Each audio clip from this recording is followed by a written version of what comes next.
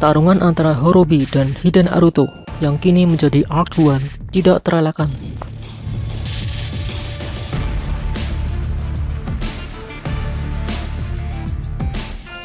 Pertarungan sengit ini berhasil dihentikan oleh Jin. Namun dia harus menjadi korban akibat terkena serangan dari Arc One. Horobi menangis untuk pertama kalinya, dan lagi-lagi Azu menghampirinya dan menawarkan progres K Arc yang lain.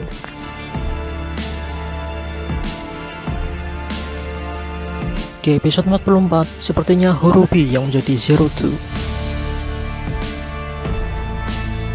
dan melawan Arc One yang merupakan Hiden Aruto.